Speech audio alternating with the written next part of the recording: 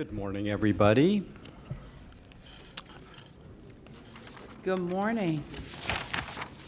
And we're going to go ahead and we'll call the May 24th, 2022 uh, Palm Beach County Board of County Commissioners Workshop to order.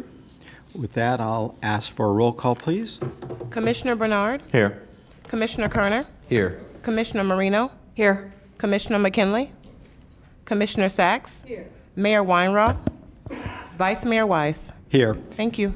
Thank you. And uh, we have heard from our colleagues, Commissioner um, McKinlay and Mayor Weinroth, that they will not be able to join us today. Um, With that, I'm going to ask Commissioner Kerner to please lead us in our invocation and Pledge of Allegiance. Please rise. Thank you, Mayor. Father, guide us in the duties we're about to perform. Give us wisdom to make the best decisions for all citizens. Help us to remember that no problem is too small to escape concern and perplexity too great to resist solution. Amen. I pledge allegiance to the flag of the United States of America and to the republic for which it stands, one nation, under God, indivisible, with liberty and justice for all. Thank you. All right, thank you very much. All right, with that, uh, I'd like to uh, ask if there are any additions, deletions, or substitutions to our agenda this morning. Vice Mayor, there are no additions, deletions, or substitutions today. Thank you. I'll take a motion for adoption. I have one from Commissioner Kerner and a second from Commissioner Marino. Thank you. All in favor? All opposed?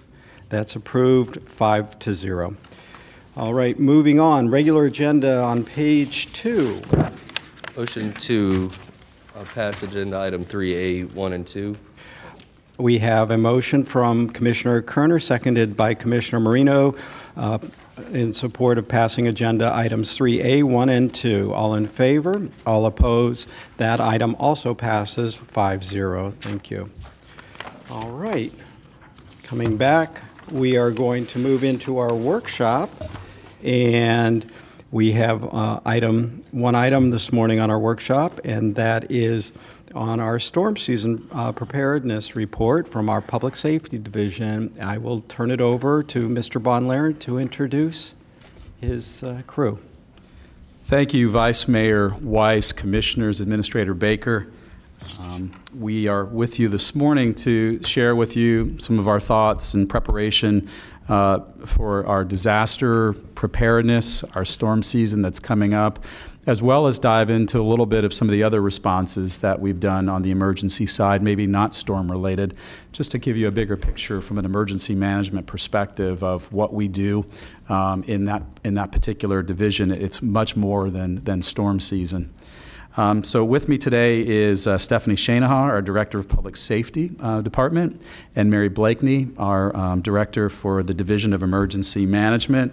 Um, If at all, any point at today you see um, Stephanie wince at any comments you make, it's not because of the comments. She's got a pinched nerve and she's dealing with a little bit of pain, but she, she's powering through today with us. So I just wanted you to know that, uh, that she's with us strong today. And also, speaking of with us, too, I also wanted to acknowledge our chiefs from Fire Rescue, Chief Kennedy, Gonzalez, Tazi, who are integral parts of our emergency response and our team, and we really appreciate their support, um, not just in our emergencies, but throughout the year. So thank you, gentlemen, for being here with us today. Um, So our agenda for the day, we'll go through uh, this PowerPoint. Um, We're going to give you a a brief overview of emergency management of our department, what we do. Uh, We'll talk a little bit about some of our core hazards, not just on the storm side of things, but in some of the uh, response uh, that we do, hazardous materials, uh, other natural type disasters, wildfires, and the like. Uh, We'll get into a little bit of our 2021 um, storm season, our hurricane storm season in review, and give you a little bit of a preview uh, to 2022. Depending how long our discussion goes at the board meeting today, we might actually get the actual predictions, which come out uh, a little bit later on uh, this morning. Uh, So we'll see how that rolls. Uh, We'll talk a little bit about our preparedness cycle, uh, what we're doing to make sure that our residents are prepared, we're prepared, you as our Board of County Commissioners are prepared, and then finally, a refresher on how you can help both our board, understanding our core um, responses, understanding some of the different types of things that our policymakers and elected officials um, are able to, to do. So our Division of Emergency Management um, is a, uh, a team, and, and really it is all about teamwork at the Department of Emergency Management. Um, and we have even named team. Together, emergencies are managed. Um, and, and, and they are. And in Palm Beach County, we have incredible partners uh, that come to the table. And as a division, our vision is to be a world-class emergency management agency keeping our community safe and resilient by working together with our partners as and the public as a team. And I think that our emergency management department, our public, our- I'm sorry, division and public safety department have absolutely um, done that and have really put forth truly what it means to be a team. Um, We're also blessed to have the support and resources of all of Palm Beach County uh, to help us plan, respond, and recover from our uh, disasters. As you see on this PowerPoint, uh, there's a chart up there about our EOC activation uh, organization and how we organize ourselves when we do have an incident in Palm Beach County. Um, and we don't just rely on our departments in this particular chart. Um, we also have numerous federal, uh, state, non for, not for profit organizations, volunteer agencies that help us to prepare, respond, and recover from a lot of the major disasters that we have. And just to give you a few brief highlights on this chart, I mean, obviously, front and center at the very top is our county administrator. Our county administrator is designated and becomes our incident commander for the duration of any um, emergency activation that we have.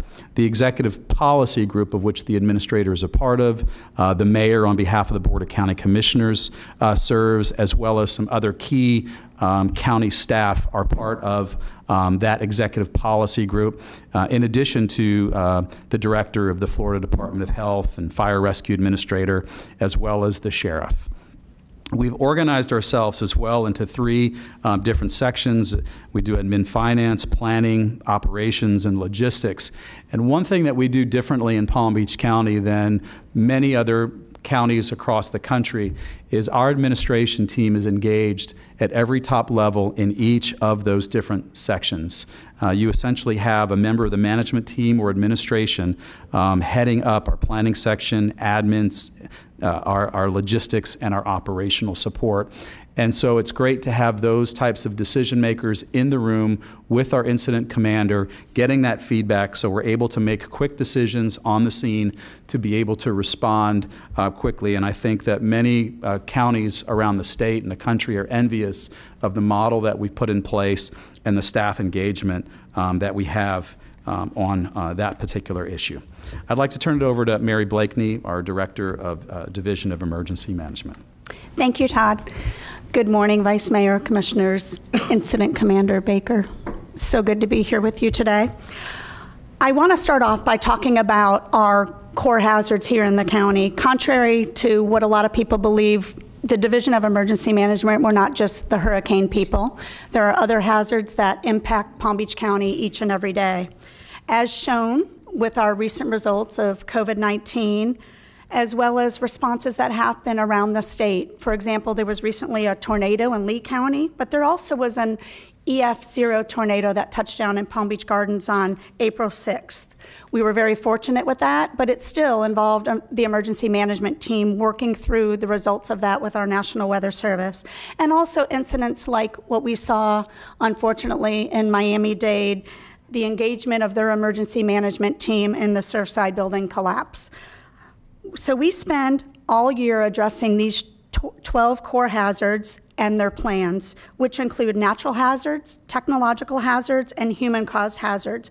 We plan with our stakeholders and partner agencies, training responders and county staff, and exercising our entire emergency management system. Our structure is designed around being the organizing agency for communication, coordination, and collaboration with our stakeholders. Yet we know this time of year, it's really our opportunity to discuss the upcoming hurricane season and how our residents can be prepared for any type of disaster that may strike Palm Beach County. So we're going to take time this morning to discuss what you can do and what our residents can do to be prepared. But before that, I just want to focus a little bit on the Governor's Hurricane Conference. We are fortunate enough to have, have been the host location of the Governor's Hurricane Conference in West Palm Beach since 2017, and we will remain the host location of the Governor's Hurricane Conference through 2026. This year, the conference offered 40 training sessions, 50 workshops, a robust vendor exhibit hall, and keynote speakers from local, state, and federal agencies. The conference had over 2,400 attendees this year, many of which were from our community and included first responders, some individuals from our transportation network, school board, water utility staff, emergency management staff, and many more. The training sessions covered topics such as exercise design, design, EOC functions, mitigation for emergency managers, emergency planning, management of volunteers, tropical meteorology, recovery from disasters, recovery funding, and even EOC tours, which highlighted our very own Palm Beach County EOC. The workshops were set as one and a half hour sessions of best practices and lessons learned from individuals, from organizations, and agencies with real world experience. These workshops focused on debris, improving funding outcomes, disaster feeding, stress management for responders, improving coordination with energy providers, communicating through crisis, community outreach education, private sector response, and much more. In all, these training sessions and workshops were attended by representatives from three different countries, 36 states, and 65 of the 67 counties in Florida. These are all the individuals that would help aid us should we have a disaster here in Palm Beach County. So we're very excited about the turnout and activities that happened during the Governor's Hurricane Conference. But let's focus on hurricane season and our impacts. Although 2021 was forecasted to be an uh, above average year, it spared Palm Beach County from any direct impacts, but still ended up as an above average season. It was the third most active year on record in terms of named storms. It marked the sixth consecutive above normal Atlantic hurricane season and was the first time on record that two consecutive hurricane seasons exhausted the list of 21 storm names. This year, Dr. Phil Klotzbach of Colorado State University has predicted 19 named storms, nine hurricanes, and four intense hurricanes. But it only takes one. And as Todd mentioned, we're waiting any minute to learn what the National Hurricane Center's forecast will be for this year. But regardless of the number, it just takes one, and we need to be prepared.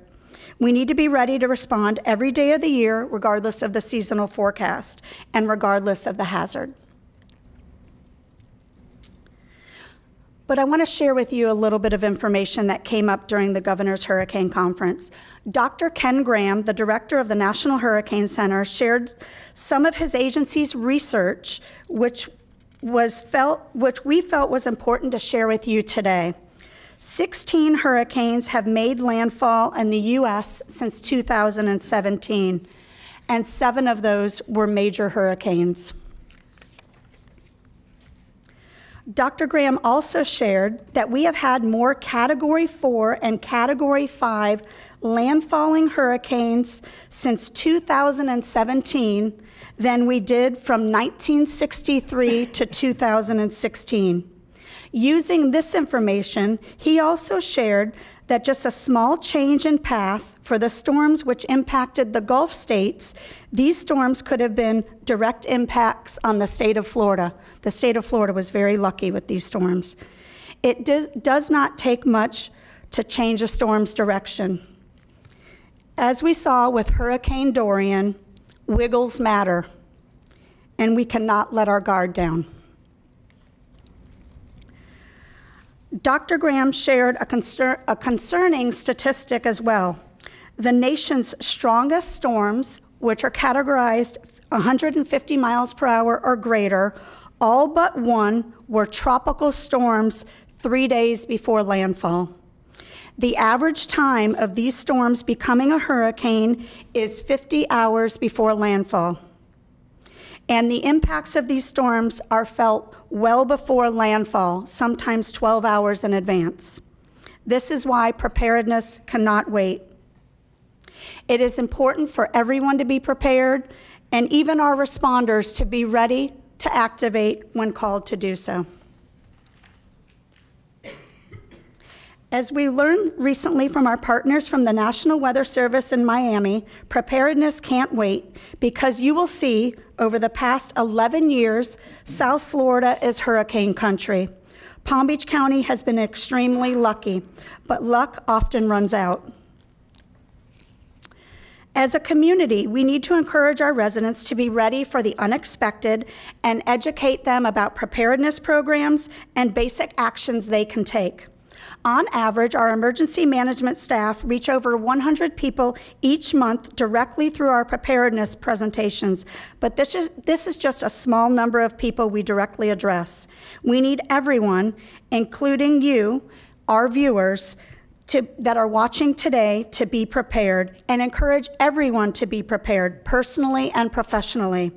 So please take every opportunity to encourage your staff, family members, friends, and your constituents to be prepared. Our message is simple, so help us spread the word. Make a plan, build a kit, be informed, and get involved. So let's discuss a little bit about making a plan. As part of your, land, your plan, you should know your zone, but also know your home. If you live in an evacuation zone and need to evacuate, know where you are going if officials order an evacuation. Preference would be to stay with family members or friends, but stay within the county. Determine how you would get there, where your meeting place for family and friends would be after the storm. Do you have a plan for your pets and your family that may have special needs? If you plan to stay home, shutter and shelter in place. If your plan is to stay in a to shelter in place, make sure you know your home and understand when your home was built and check on any additional mitigation measures that have been taken to secure your home. For example, does your home have impact windows? Do you have shutters? Do you have roof, roof reinforcement bracing, a hurricane resistant garage door, and appropriate water drainage on your property? Also conduct an insurance checkup to ensure you have adequate coverage. Know where your important documents are located. Should you be sheltering place, understand that there are a number of indirect fatalities as a result of the hurricane. The largest number of these deaths are due to heart attacks and power problems.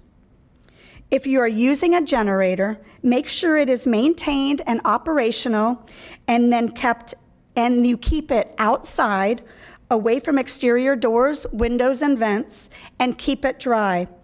These are all items to plan for when considering on making your family plan. Would you like to address a little bit, Todd?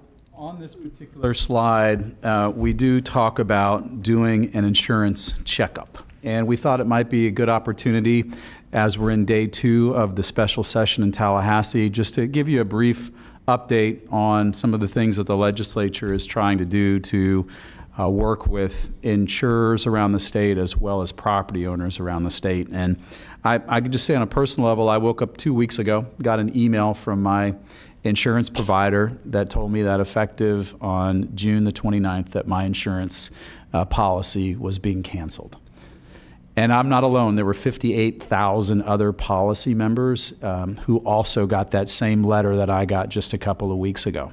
So here we are staring at the front end of hurricane season uh, with very few options that exist. So this issue is very real and continues to be very real to a lot of our residents uh, throughout Palm Beach County, and I feel it personally. So um, we have Ed Chase and our team in Tallahassee this week um, working um, to uh, ensure that we can do everything we can to try to affect some of the things that are happening during the legislative session. We thank Commissioner Bernard um, several months ago at a BCC meeting. He said, please work with the legislature, see what you can do on the insurance component um, to see if there are some ways that we can effectuate some change. Um, I will tell you that two pieces of legislation have been filed during this session. One is poised uh, to pass, or both are poised to pass out of the Senate today. Uh, they're moving very quickly with the House to take those up uh, most likely later today and tomorrow. Um, so a couple of uh, issues that they're they're looking at in Tallahassee. One of them, and the big piece of the first bill, is the reinsurance fund, and that is creating a two billion dollar reinsurance fund in the state of Florida, so that insurance companies, as they are trying to insure themselves for large catastrophes, have a pretty significant pot of funding that exists that they can uh, uh, buy into uh, to help cover and mitigate any of those more catastrophic losses that they might see in the state of Florida. The second piece of that bill deals with the um, My Safe Florida Home program.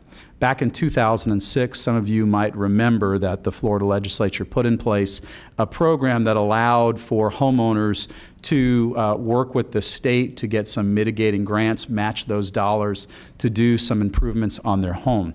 So the legislature is looking at putting an additional $150 million into uh, that particular program. It will, one, allow individuals to have inspections on their homes, and two, it'll provide a pot of money that um, homeowners can uh, get grants of up to $10,000 uh, in a two to one match. So for every dollar that a homeowner puts in, they can get two from the state up to $10,000. And that's for homes both that are insured at under $500,000 in value, as well as for low income individuals uh, by state statute, regardless of the valuation of their homes. So really looking to try again to see if there's windows, doors, garage doors, those kinds of entry points where we, uh, as a state, can help our residents uh, be able to go in there and do some of those particular upgrades. The other big issue that's pending out, out there is on roof damage and roof claims. And so there's two bills. There's one a part of the bigger bill, and then one separate uh, just dealing with roof claims and potentially um, some of the fraud issues that we've seen over the last few years in terms of roof coverage. So the first piece of this says that essentially an insurance company can't discriminate against an individual because of age of roof, particularly if they have useful life remaining in their roofs and from denying them coverage based on that issue. So there's some specific parameters within the bill that deal specifically with that age coverage. Uh, but that is something that the legislature is trying to address in the first bill. In the second bill that's pending, uh, what we saw years ago was people would have damage to their roofs. Uh, people would come around to inspect their properties and say, hey, can we take a look at your roof? And they say, oh, yeah, you need to have a complete redo of your roof. Um, the legislature has passed legislation to try to cut down on some of that fraud, but here they're also saying in the second bill that if you have 25% roof damage and you get uh, the repairs to that, that doesn't disqualify your entire roof from being eligible from coverage going forward. It's a little complicated, but there's a 25% rule that exists in the building code today for those repairs that the legislature is trying to provide some relief to homeowners. So you don't have to get an entire roof rebuild if 60 or 70 percent of your roof is still in pretty good shape if you see some of those damages. And then the other piece of the first bill um, is really dealing with um, some of the, the legal cases that the legislature and the governor's office are making a claim are um, providing for increases in policies, you know, bad faith type claims, as well as limitations on certain uh, attorneys' fees for contingency cases um, and the like. so just wanted to share with you while we had the opportunity, while we're still fresh in the moment of what the legislature is trying to do. I will tell you this: uh, Mr. Chase went up there and was been working with Pat Rutter and our building team, um, prepared to address with the legislature some of the building code related issues that we've talked about previously. An amendment was filed yesterday to one of the pieces of legislation in the Senate. And at, upon presentation, it was ruled that that was out of order and that that was not within the call of this particular session. We disagree with that. We feel like that certainly it was within the call of the uh, legislative session, but that was the ruling.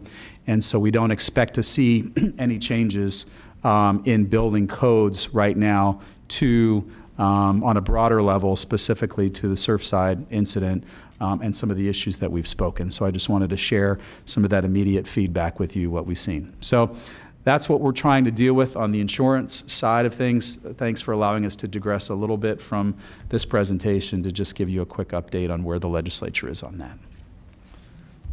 Wonderful. Thank you, Todd, for sharing that. The next phase in our preparedness is to build a kit and keep it stocked year round. Plan for five to seven day supply of shelf stable items. These are items that can remain in your pantry.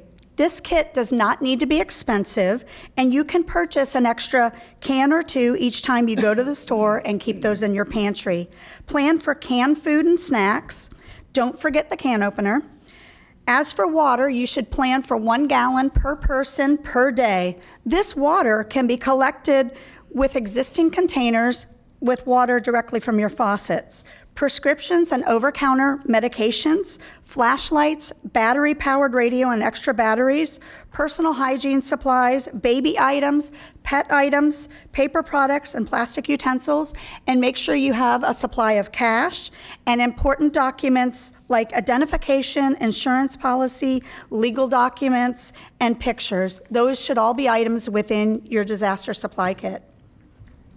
Get involved. There are several ways you can get involved with community preparedness, response, and recovery. Volunteer with community groups in your community to check on your neighbors. With so many new people moving to the county, get to know your neighbors and educate them about preparedness, especially if they've never lived in a community that could be impacted by a hurricane. Some things you can do to help your neighbors is collect supplies for emergency kits, help them install their shutters, or help them evacuate if told to do so. After a storm, check on your neighbors that may be living alone or that are elderly. And many and many may need assistance. You can help them by assisting with removing shutters, sharing supplies and resources, and clearing debris from their yard. This past weekend, we had a very robust um, training exercise drill at the South County Civic Center with some of our um, community emergency response team leaders the CERT team is a, a, perfect way to get involved in your own individual community. So we encourage individuals to check into getting involved with the CERT program. And also to be informed. Signing up for Alert PBC, downloading our Palm Beach County DART app, monitoring local media, our website, and our social media for preparedness information and protective actions. Our website, readypbc.com, is filled with valuable resources on preparedness information and tips. This information is available to anyone and everyone who would like to share these preparedness messages with their family, friends, neighbors, and coworkers. This past year, our website had over 46,000 visits, and we had over 1 million connections through our social media platforms. Palm Beach County also has a system in place called Alert PBC, which allows you to opt in to receive public safety notifications via phone calls, text messages, or emails. Alert PBC allows us to alert you of a public safety issue in your community, such as hazardous weather conditions. When we use the notifications about potential safety, health, a safety hazard or, or, concerns, you will receive a message via voice, text, or email communications that you choose to receive.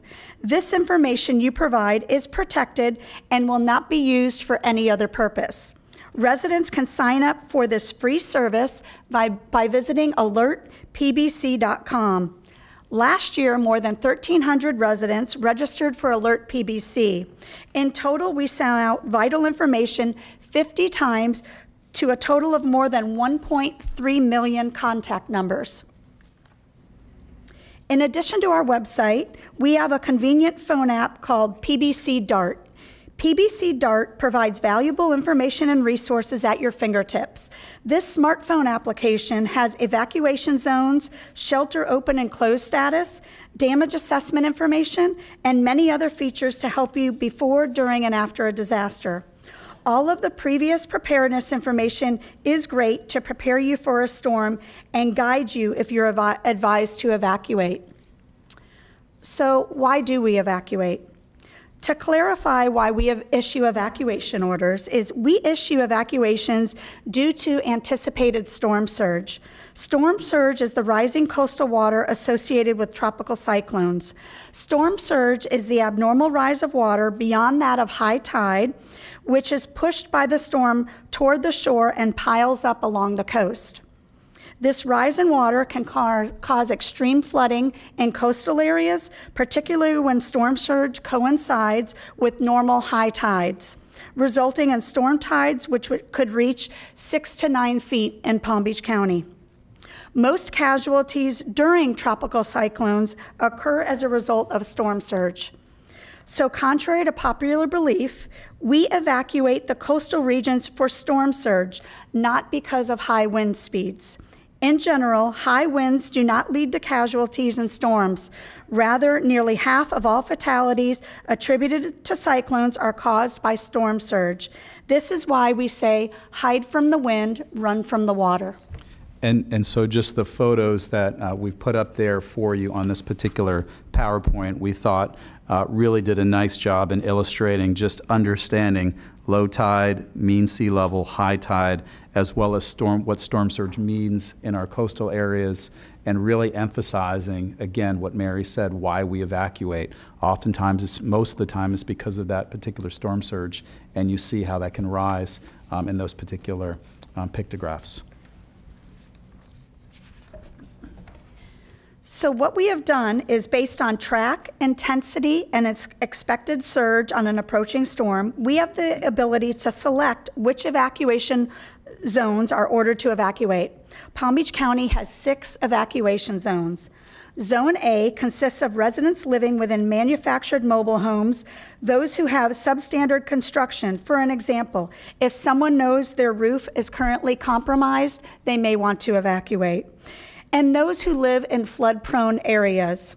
Zone B through E are coastal areas or are areas impacted by inland flooding due to storm surge being pushed into inland waterways. And Zone L is located around Lake Okeechobee and would be evacuated in the event there would be models forecasting overtopping of water over the Herbert Hoover Dike surrounding the lake. We have the ability to open a total of 15 general population risk shelters, two special needs shelter locations, and two pet friendly shelters. Our residents should listen to announcements for shelter opening, as all shelters may not be opened. Special needs shelters are for residents with certain medical conditions. These shelters require residents to pre register as well as have a caregiver. To register, residents can complete an application online at readypbc.com or contact emergency management at 561 712 6400. For residents required to evacuate who have a pet, they can pre register for the pet friendly shelter directly through Palm Beach County Animal Care and Control's website or visit readypbc.com for more information.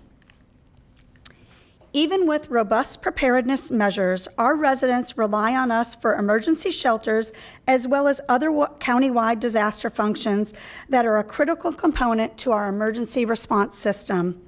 The Employee Disaster Response Program, also known as EDRP, assists in identifying county employees and their skill sets and matching them with disaster related roles. The EDRP can be used for any type of hazard or emergency and provides clear assignments and training to our employees. The breakdown of county employees is shown on the table on the screen. While we have over 3,900 employees with department specific disaster responsibilities as part of their job, we currently have close to 1,400 employees enrolled and trained in our community in a variety of disaster essential roles. Within the EDRP program, Department Essential staff continue to have a vital disaster responsibility. Some examples of Department Essential staff includes roles like water utility plant operators who maintain critical water utilities operations before, during, and after a storm has passed. Fire rescue staff who continue to respond until it is no longer safe to do so and then resume operations immediately after the winds subside facilities development staff who prepare our county facilities, facilities for the approaching storm, ensure critical systems are operational during the storm, and immediately conduct damage assessment after the storm. Planning, zoning, and building staff who are staged and ready to conduct immediate damage assessments when safe to do so. And engineering staff conducting what we call the initial first push of debris from our roads ensuring bridges are operational, and resuming operations of our countywide traffic signals. For shelter staffing, we currently have 67 shelter supervisors and 595 shelter support staff. The diagram to the right of the screen shows the organizational structure in place for supporting general population shelters. Sheltering does not just involve county staff. Other agencies, such as the Healthcare District, the Department of Health in Palm Beach County, Palm Beach County School District, and Palm Beach County and municipal fire rescue agencies are assigned to fill vital shelter roles as well. It is a countywide team effort to ensure our community is safe in times of disaster. We've been preparing during non hurricane season through our planning, training, and exercise period. As part of our plan, train, exercise, and evaluate cycle, the Division of Emergency Manage- Management has sponsored or conducted more than 26 training classes, having trained over 1,000 students in courses such as CERT, Teen CERT, which is now really tapping into the next generation of our community. We're very excited this year about bringing Teen CERT back into our community. Mass fatality incident response, emergency planning, intermediate EOC functions, shelter operations training, and incident command training.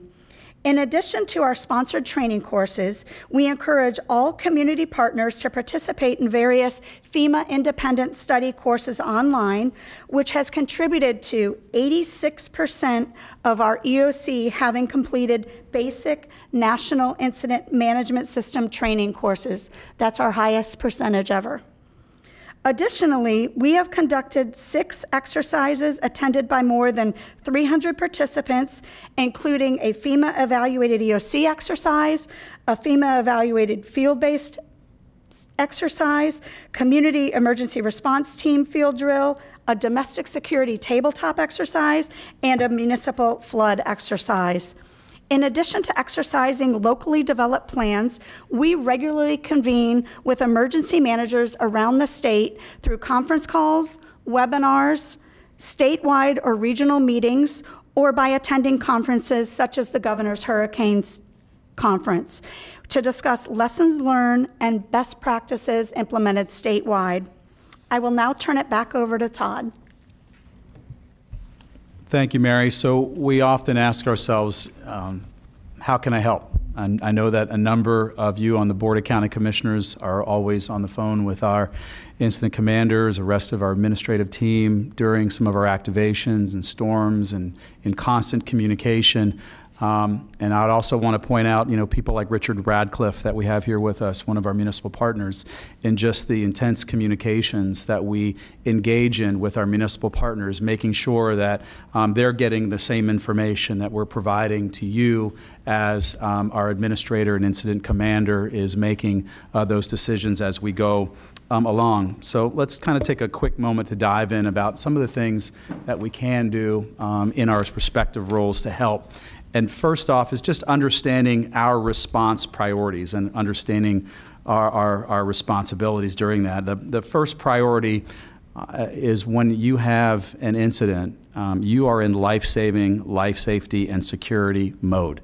Um, it is our immediate goal to make sure that affected areas, that we have the right teams in those areas, that we're looking for life and we're looking to secure those particular areas, making sure that individuals are accounted for. These are not only just high hazard areas, but these are high risk populations that many of you have um, in your respective um, districts, and also when we engage in some search and, um, and rescue type situations and operations. Our second priority that we uh, come under is that of establishing communications. And communication is incredibly important whenever you have a particular incident. I mean, it's as, uh, sometimes as basic as the first push that Mary talks about when our teams are out there on the streets calling back in and, and dialing in, and our, and our public is dialing in some of the things that they're seeing on the ground so that we understand that what, that, what that is. It's also establishing some of those landline communications that we have as well and making sure that we're in touch with the appropriate officials at the right time uh, so they know what the current situation is um, on the ground as well. Our third priority uh, for our response are mission critical operations. These are sort of just, you know, some of your basic human needs. Um, hospitals, you know, what situation is our hospital in?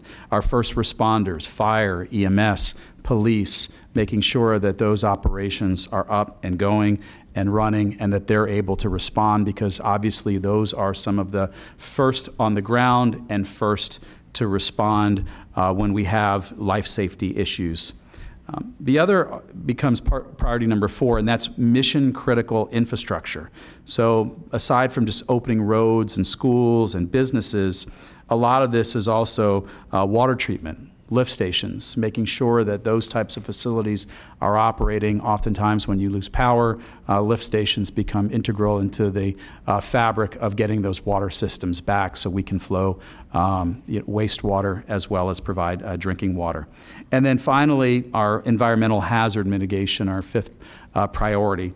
Uh, this is uh, when we look at, you know, sewage leaks or wells maybe being contaminated and making sure that we have um, an understanding of those particular um, situations.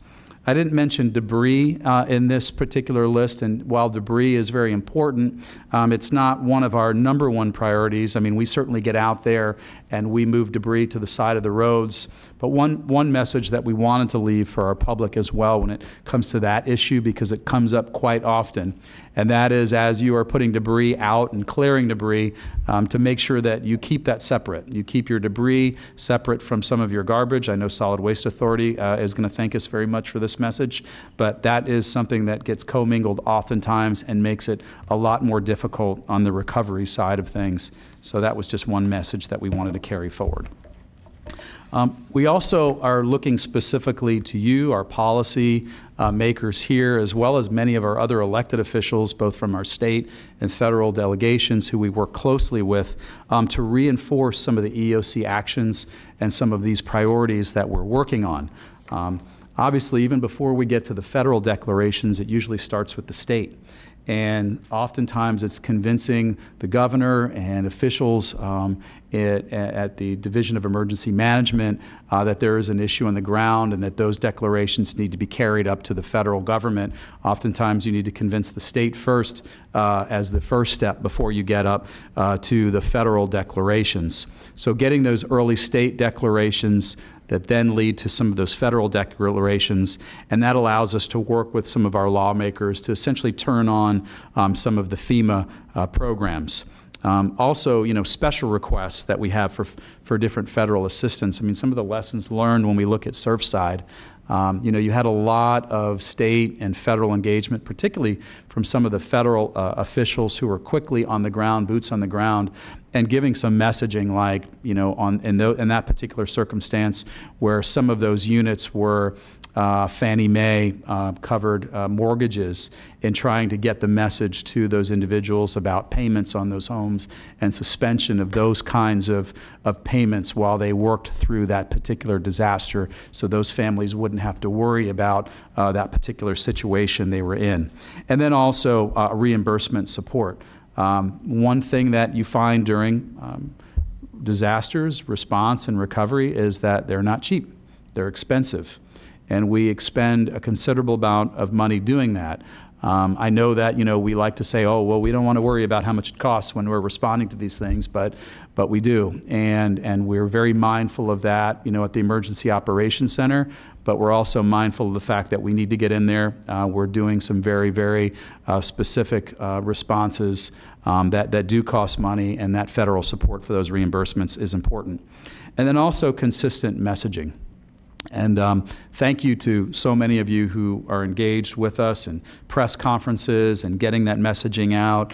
Um, your social media is vital uh, to getting some of that communication to a lot of folks that might not see things on television or, or read it in print media. Um, there's a lot of different ways that we communicate that.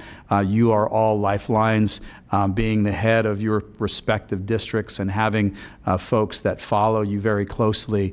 That consistent messaging that you put out um, is so important, not only to reinforce the protective actions that we're asking of our residents to take uh, on the front end of a storm, during it, and afterwards, but also just to continue to reinforce some of the public messaging and the public information uh, that we are putting um, out there time and time again.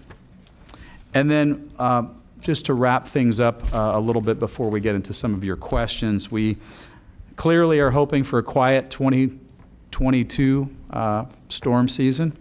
And, um, but, but you know, the one thing that we wanted to, to make sure that you knew is that we prepare every year for every storm season like it's going to be a difficult one. Um, we prepare for the worst, we pray for the best, and I can tell you that your uh, public safety team, your emergency management team, your fire rescue team, your administrative team, um, and, and everywhere else is prepared and understands what it takes um, to respond to this, to develop strategies every day to make sure that we're storm ready, to make sure that we are emergency um, ready. And, and just finally, I wanted to again thank um, uh, some of our key, key components and staff that are part of this response. Obviously, our incident commander, Administrator Baker, over um, those details, but um, getting to some of those particular uh, section leaders, Patrick Rutter, who uh, serves as our logistics chief, Sherry Brown, who serves as our administration and finance chief, um, Reggie Duran, who, and, and also Dorit Miller, who both serve as our operations um, policy chiefs um, in that setting. I mean, these are the folks that are vital to a lot of the responses that we get from the public and needs that we get from the public and seeing that uh, some of those needs get met in our community. So I want to thank you for your time today, and uh, we are happy to answer any questions that you might have. Thank you. Thank you very much. All right, I'd like to um, open this up. I see, um, did you have com- um, Administrator Baker had comments, and then we'll move to Commissioner Marino. Just want to also highlight the fact that we work very, very closely with the sheriff's office, along with uh, other law enforcement throughout the county. Our chiefs of police uh, work very closely. We have phone calls with them on a regular basis. We also have uh, FDLE, along with other law enforcement, the highway patrol, et cetera, within the EOC that we're in constant contact with them as well. Uh, the League of Cities, Richard has to sit in the EOC with us the entire time, and we have uh, weekly calls, sometimes daily calls with the cities. Uh, I want our community to be well aware that we are communicating with each other and we're looking out for the best of all the residents in the county. But I wanted to publicly acknowledge uh, those particular ones, as well as our, all of our first responders are there when we need them, and, and we constantly have those contacts with them. Thank you very much. Uh, Commissioner Marino. Thank you. Um, with the governor's hurricane conference, did I know it was advertised, but did HOAs attend? Did, did representatives of HOAs attend? Did they get invitations so they knew about it? We did have some community members, and I just want to tell the, um, share with you a little piece of information that I didn't share the value of it being here. Um, there are a lot of volunteer opportunities at the Governor's Hurricane Conference. Um, it, it, couldn't be done without the volunteers, and I and I just want to to give recognition to to Pat Johnson. She is a CERT team leader, a ham radio operator. She lives in Loxahatchee Groves, and she volunteers in our EOC every single Monday she actually rallied the troops of CERT team members in our county. 60% of the volunteers that served at the Governor's Hurricane Conference were CERT team members right here, members from our community, and they served as room monitors. So, what that did for some of the members in our community is they got to sit in the back of a room, um, make sure that the instructor had all the resources they needed, but they were able to attend the Governor's Hurricane Conference free of charge. So, through that network, we had several um, of our residents from a lot of our communities in attendance at some of these really important training sessions and workshops. Um, but it is, it's, it's very publicly known, the Governor's Hurricane Conference. Anyone can attend, um, but there is a fee, but there are volunteer opportunities that a lot of our residents, you know, took advantage of during the conference. That's great, thank you. Um, I did have actually a couple of other things for hurricane preparedness. Um, and I know, and I'm telling these because of ex- past experience. Um, if you have medications, make sure you have ice for those medications. A lot of times people forget that. You know, turn off your ice makers, but dump dump your ice into a container in the freezer. Put uh, how many plastic containers do we have in our homes, plastic bins we can fill with water if you don't have a bathtub. Uh, make sure you have propane for your grill if you have a grill. And I actually used my washing machine, my dryer, and my dishwasher to store valuables in. And, you know, I mean, there was a hurricane a couple of years ago that, that was supposed to hit us directly. and I thought it was going to be the end of the world as we knew it. So I used those three items in my home to store valuables, whether it was documents or something passed down from a grandmother or grandfather, something of that nature. And I, and I had taken all of my plastic containers and I put them on my counter, filled them with water, and took a picture and put it on Facebook saying, You don't have to go buy water. You don't have to use single use plastic. You can use what you have at home. So, just those are just my thoughts. Thank you very much for listening. That's great. Thank you. And uh, Commissioner Sachs, did you have uh, comments or questions? Thank you. Um, We're all Floridians. I think you become a Floridian when you've gone through one hurricane, at least one. There was a year when we had six named storms, and many of these laws that you talked about, uh, Todd and your team, were, uh, were, became in effect. And uh, a lot of them applied, um, I know Commissioner Marino asked about HOA representatives, but a lot of them applied to uh, HOAs and gas stations, mandatory uh, refrigeration and generators to take care of our people. And they keep the elevators running as well.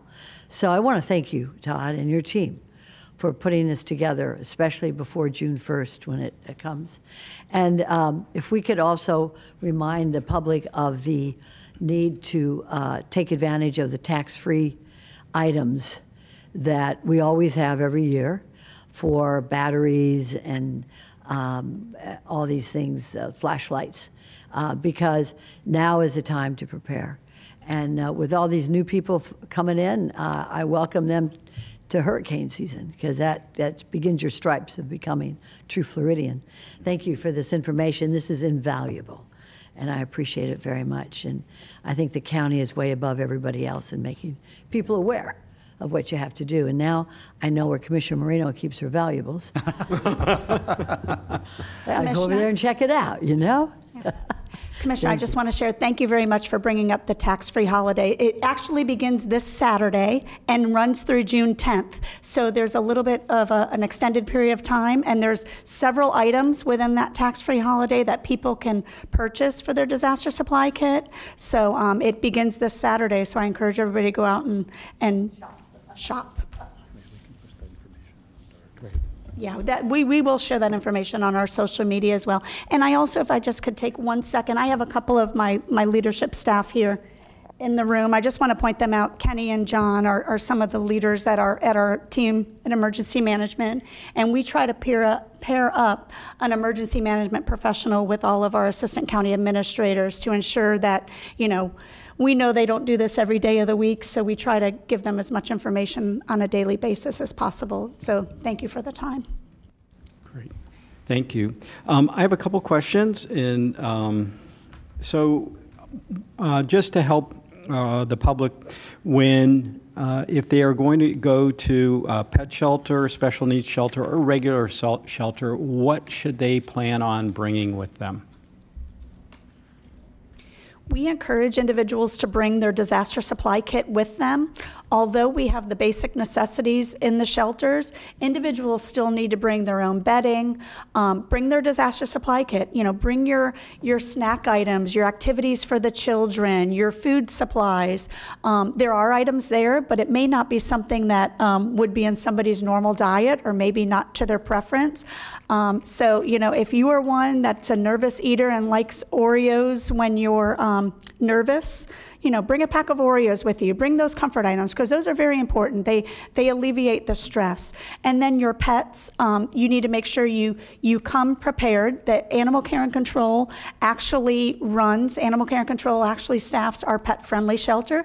They ask those individuals to bring the cage, um, all of their their leash, their collar, their food supplies, and a supply of water. So, um, what you would bring for yourself personally and how you would prepare for yourself personally, you should also prepare for your pets.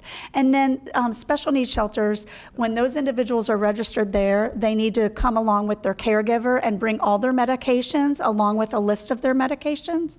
All of this information is in, in great detail on our website, um, readypbc.com. So I'd really encourage people to take some time and, and definitely go through our website right now um, and just go through there and see what resources and if they need to take things. There's a there's a hurricane guide on our website that people can download with with you know lots of great information within it. Great. Uh, Commissioner Marino, you recognize. Thank you. Can you repeat the phone number you gave us? I, I wrote down 561 Sure. Our, our number to the 742. 712-6400. So the EOC's number is area code 561-712-6400. Um, and that is also our emergency information center. When we activate the EOC, that turns into the main number for our call center. So individuals can write that number down and have it available to them, you know, before, during, and, and after a storm, that number will be answered. And that's also the number they call to pre-register. Correct. Okay, thank you very much. Thank you. All right, thank you. And a couple other things. I, when I attended the, uh, the uh, uh, hurricane, gov- the governor's hurricane conference, one of the uh, areas that was discussed, though, was carbon monoxide uh, and people placing their generators too close to their homes or, en- you know, windows or doors that then infiltrates into their homes and, and people end up with carbon monoxide poisoning and, and can be very dangerous. So making sure it's done in a, a very well ventilated place, which is sort of counterintuitive. People want to keep their generators covered and, you know, but on the other hand, they need to be well away from there because uh, obviously it's it's dangerous. I did also. Uh, I, I have to say I went to uh, the same uh, time as the governor's hurricane conference was going on. There was a the Gold Coast Builders. Uh, had uh, an event themselves on planning uh, for um, disasters. And, you know, one of the things they said the biggest loss after a disaster uh, was uh, in the area of IT, information technology, uh, computers, and the data that they contained, and that people not taking the proper steps to both protect their equipment and uh, and to uh, make sure they uh, move the important data to places that are, that are going to be safe. So, and then I guess the last thing I heard at the conference was uh, hope is not a plan, and we can, I guess, add luck and hope is not a plan.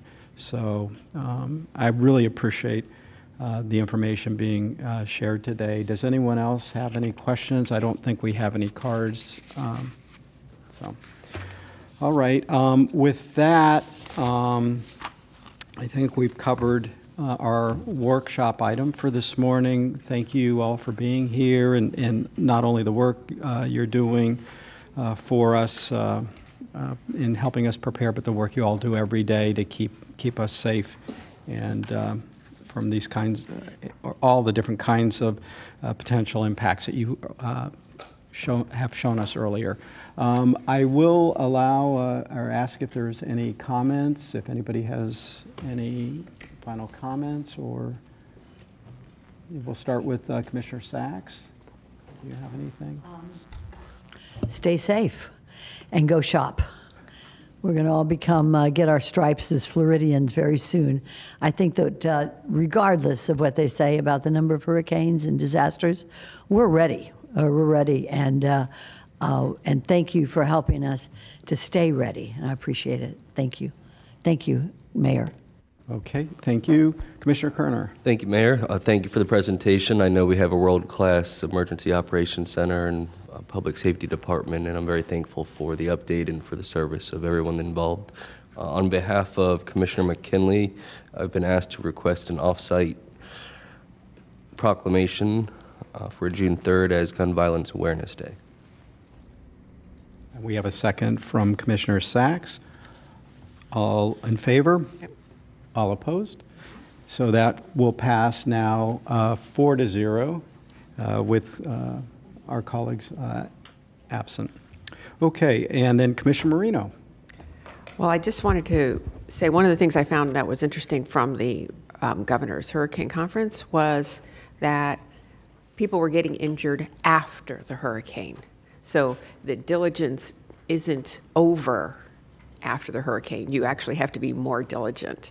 So I just wanted to make sure everybody out there paid attention after the hurricane was over. You go- You need to be aware of the environment around you and be safe.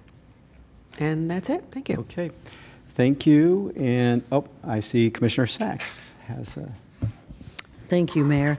Um, I want to remind everybody that June 2nd is our Economic Summit. We are looking forward to it because we're going to showcase what a world-class county Palm Beach is.